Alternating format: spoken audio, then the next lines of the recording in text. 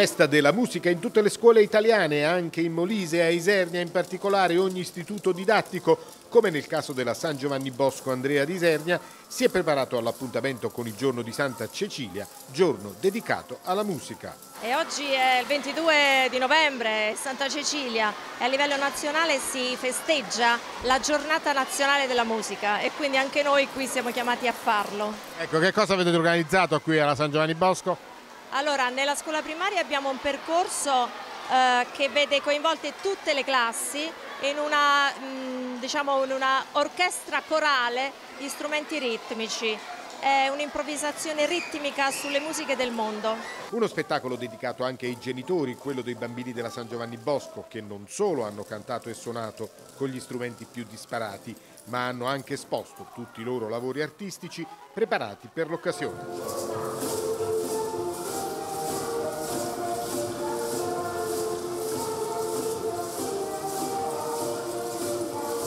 Tratta di un'iniziativa ministeriale che si sta svolgendo contemporaneamente un po' in tutte quante le scuole d'Italia e anche a livello centrale al Ministero, 21 e 22 eh, novembre. Eh, nessun parli perché la scuola, la, praticamente la parola è data all'arte, alla musica, alla creatività. Ben volentieri la nostra scuola ha aderito ehm, e gli alunni siano stati protagonisti come sempre, sia in veste di produttori che di fruitori.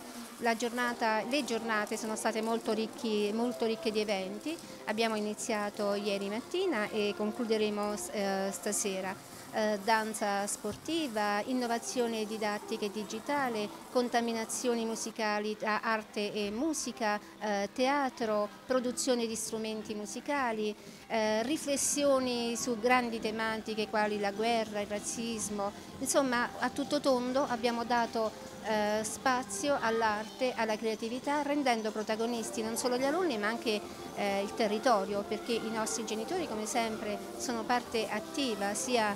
nella formulazione di proposte sia nella mm, fruizione di eventi e nella condivisione di progetti della scuola.